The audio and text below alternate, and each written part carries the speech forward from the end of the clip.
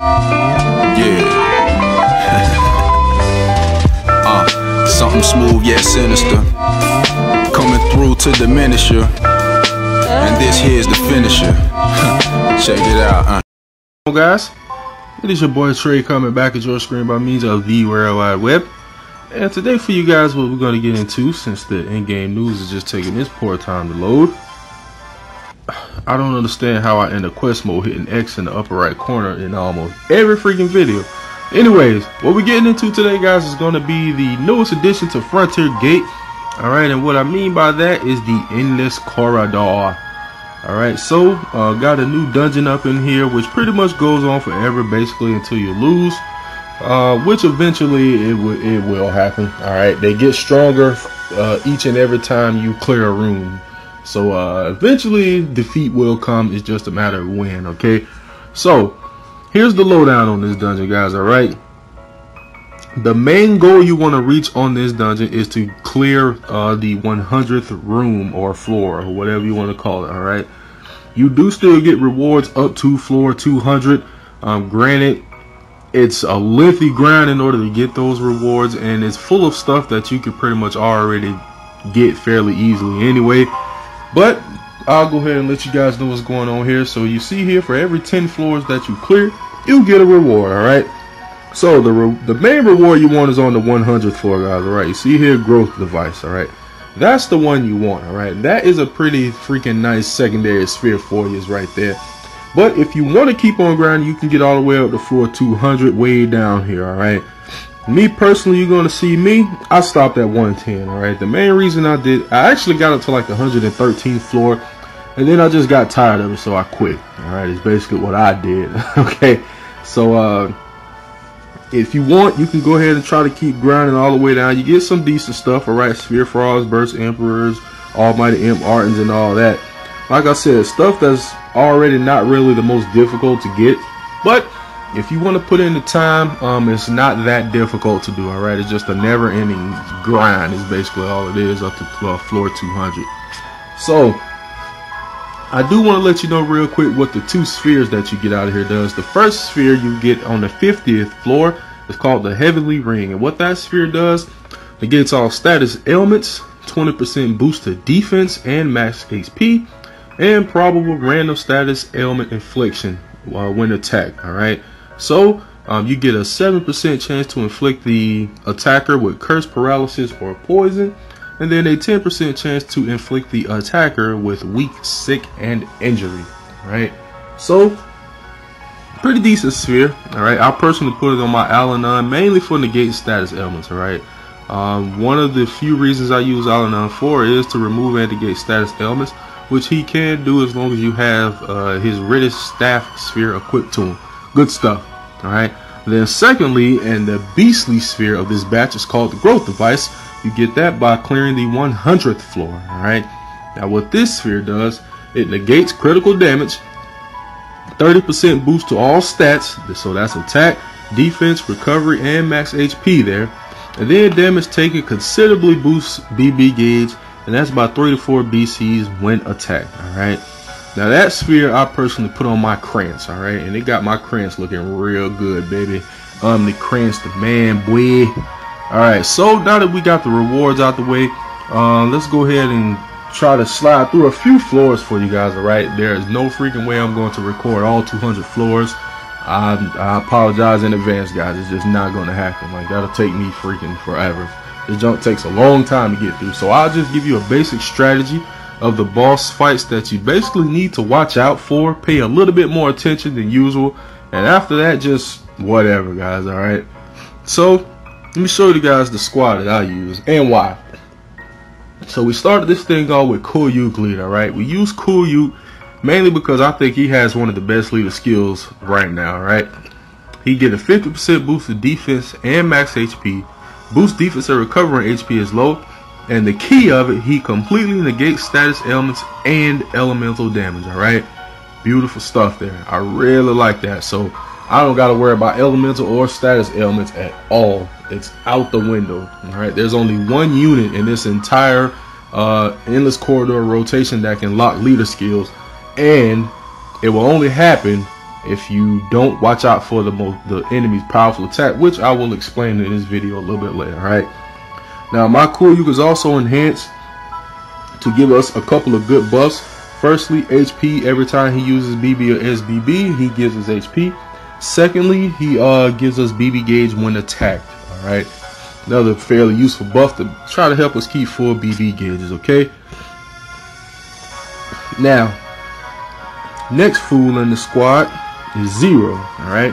Now the main reason I use Zero uh, primarily is for spark damage boost. All right. Uh, the spheres I got on them aren't the greatest. I just kind of threw something on them just to help them out a little bit. But uh, it's mainly his uh, boost and spark damage. Right. I got my Zero enhanced to give us the 130% boost and spark damage when he uses his BB and his SBB. All right. So beautiful stuff there. All right. It also helps that he gives spark and uh, vulnerability, and it also helps that he gives us the buff that gives us HP when we deal spark damage. Right. So pretty much with this squad I'm using after every turn, we get right back to full HP. It's like no doubt. They're all back to full HP by the time uh, the turn's over. So uh, that buff definitely helps us out. Now on to the next unit. All right. So the next unit in the rotation is Magus, alright, which you can interchange with Krantz or even Juno Seto. Whatever mitigator you got that gives two turns of mitigations, um, I'll leave that up to you. Um, I just use my boy Magus um, not only for the two turn mitigation, but also uh, the uh, boost and dark elemental damage. All right, I got Magus as well as Zero. Right, so I got two dark units here getting increased damage thanks to that dark elemental damage boost. So good stuff. All right, but mainly for two turns of mitigation. So whatever unit you got that does that, just plop them in that spot. You'll be a-okay. Next unit on the list is my man Sirius. All right, Sirius, my boy, one of the best UBBs in the game right now. Go to my boy Sirius, my opinion. All right, got some pretty stout spheres on them too. These are two pretty freaking nice spheres, man, and they make my Sirius look real good, boy. And on top of that, Sirius always fills his BB gauge back up to full from pure spark damage because I got all this stuff on him that uh, gives BB gauge on spark and he just fills up, man. In like four or five sparks, he got full SBB gauge. It's ridiculous. All right, but anyway, uh, main reason we use Sirius, all right, um, his SBB. The attack, defense, and recovery boost is definitely nice. All right, the light and dark element is a nice plus as well. But um, another main reason we use the guy is for that BB gauge boost on Spark. All right, and I have him with the enhancement to where instead of it just being one to two BCs on Spark, it is two to three BCs on Spark. Right, that BB attack boost also helps us with the uh, dishing out some damage. So a Sirius, definitely a good guy. Um, his UBB is is very good though, guys. All right, there are a few battles in here where I do recommend you uh, use UBBs, right, and just just to be safe, all right.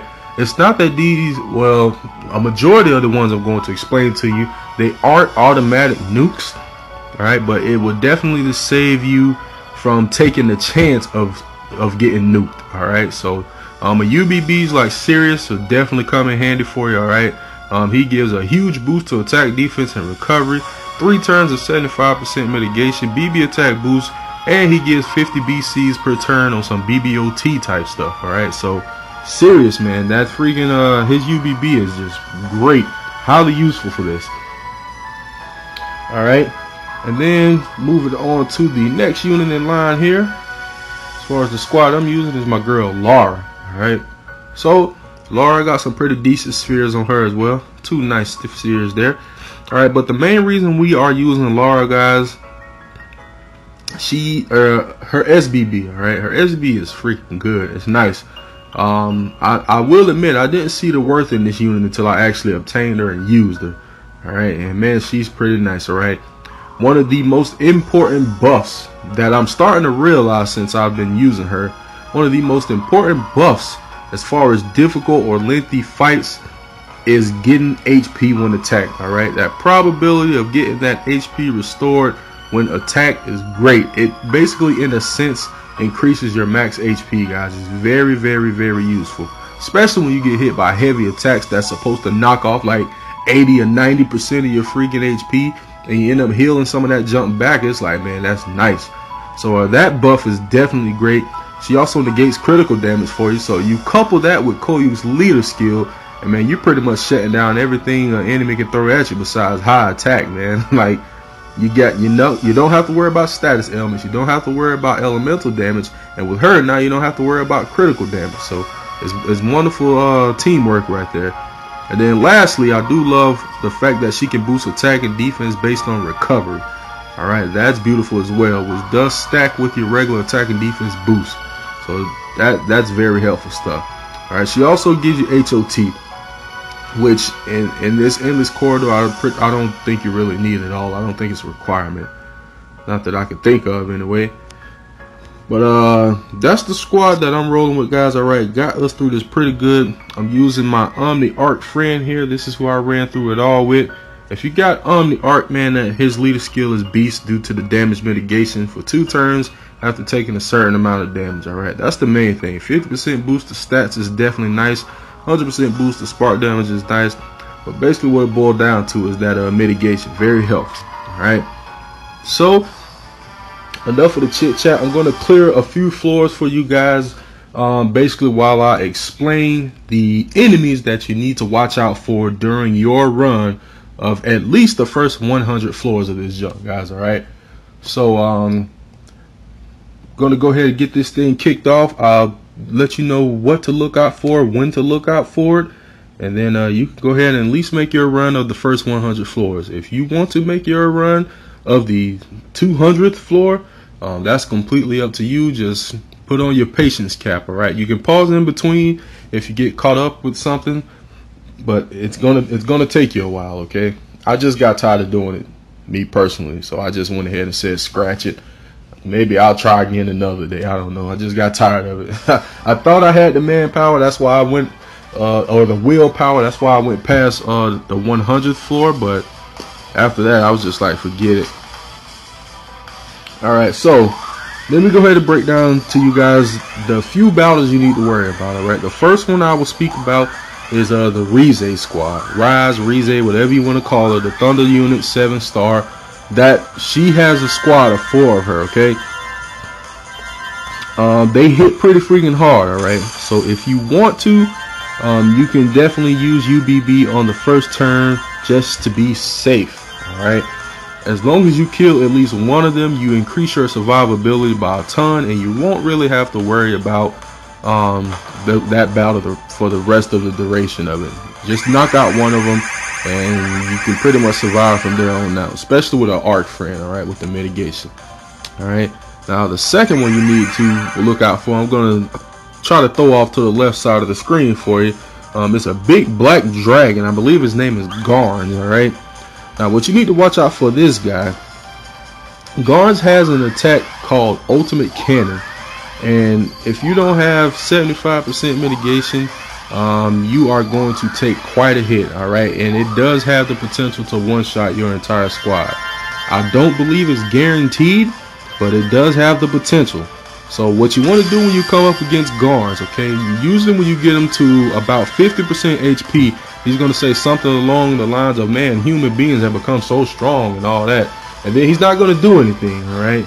On that turn, that is when you are going to want to go ahead and overdrive, pop a Fujin, and then go ahead and get whatever unit you choose to use with three turns of 75% mitigation. I personally use Sirius because I think his is just great, all right? But uh, you use him and then he's going to use his ultimate cannon. he's going to hit you. It's not going to really hurt at all with 75% mitigation. Coupled on top of the 50% from whatever mitigation unit you're using regularly. Alright, not going to do very much damage. And then the turn after that, he's going to have to recharge. So he's not going to do anything. And then the turn after that, he's going to blast it off again. Alright, so what you want to do um, when he first says that human beings has become strong, you want to make sure you don't have to taste that ultimate cannon more than twice, all right?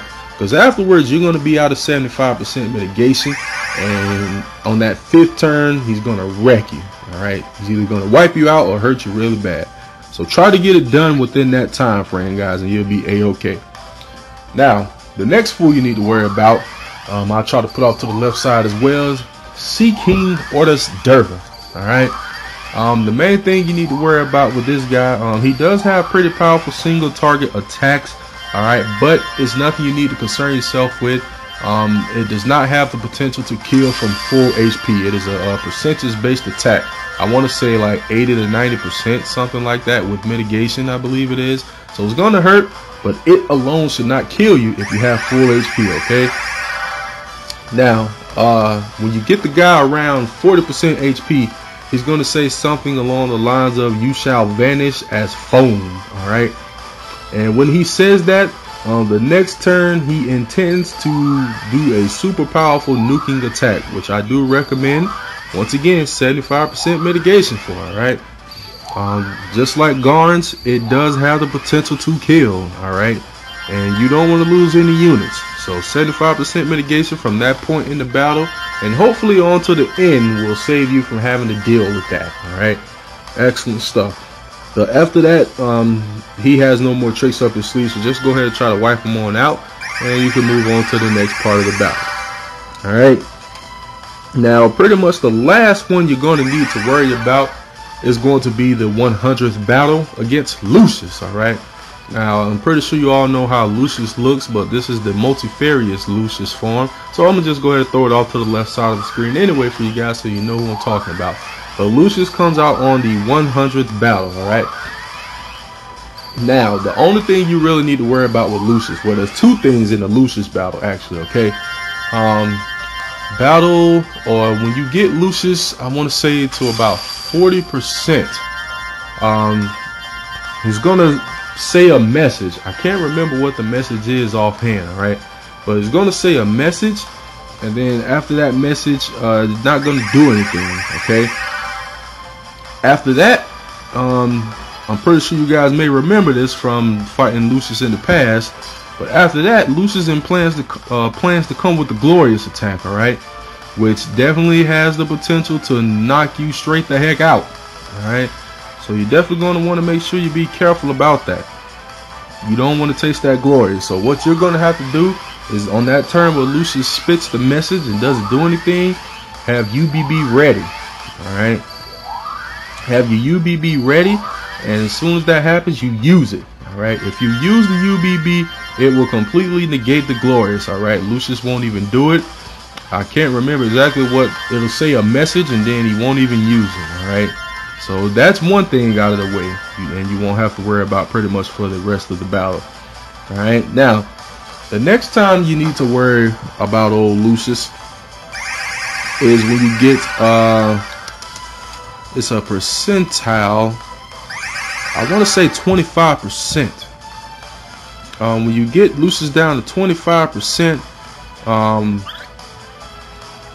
by the way, I remember um, at 40 percent Lucius says gathering energy. When Lucius says gathering energy, that's the turn you want to go ahead and overdrive use UBB, alright? But now at 25%, when you get Lucius past that HP threshold, make sure you pay attention because it's going to come in the middle of Lucius's attacks. And if you don't see the message, you're not really going to know it's coming, alright? You can play it safe, but um, it just make the battle take longer. But what you want to look out for, guys, is when Lucius shows a message saying an ominous feeling is in the air. Alright?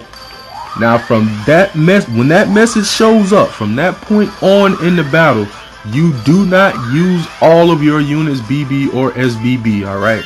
Make one attack, make one guard, whatever you want to do, but make sure that all of your units don't use SBB or BB, alright? If that junk happens, Lucius will use an attack called Assimilation, and it will pretty much wipe you out. It's, it's pretty freaking strong, okay? Um, it ignores damage mitigation, and it hurts, alright? I'm not sure if it's an automatic wipe, but I know it definitely has the potential to wipe your entire squad out. So you don't want to risk it, alright? So make sure for the rest of the battle, just Make one unit attack, guard, whatever you want to do, but just make sure they don't all use BB or SBB, alright? And as long as you do that, you'll be in the green, alright? You'll pass battle 100. Every battle after that is just going to be the, the same as always. You won't run into Lucius again, but every other unit you will, right? Now, my strategy for running through this um, the first 50 battles. All right, so once you complete battle 50, um, the ones before that you could just pick whatever perk you want. All right, but every battle after that, I brought the item set. Main reason being, um, you don't know when you're going to run into Orders Derby. You don't know when you're going to run into Garns. You want to make sure you don't get caught off guard and unable to use your UBB. All right. So if you bring the item set, um, you get a couple helpful things. First, you get a full revive, which is great. But more importantly, you get Fujins. All right. So um, I brought the item set from then on out, and it worked just dandy for me. Okay. So um, highly recommend you definitely bring the item set. But um, other than that, guys, I think that pretty much does it. All right, so just run on through that junk, man, and knock it out, dude. There's, there's nothing to it. Um, it's just gonna take you some time, all right. If you wish to go past 100, I leave that entirely up to you, all right. But there are a lot of sphere frogs, burst emperors, and artons in it for you if you uh, feel you want to grind to get them. But uh, other than that, it's pretty much gonna wrap this one up, guys. So hope you found it helpful, enjoyable. Hope it helped you out. All right. Um, if you wish to join the Facebook group, link down below in the description. If you like the video, be sure to leave a thumbs up. And if you haven't already, subscribe to the channel for more Brave Frontier content. And uh, I will be back at you guys soon. All right. So uh, thanks for watching, hanging out, checking out the video, and I'll catch you guys in the next video. Peace out.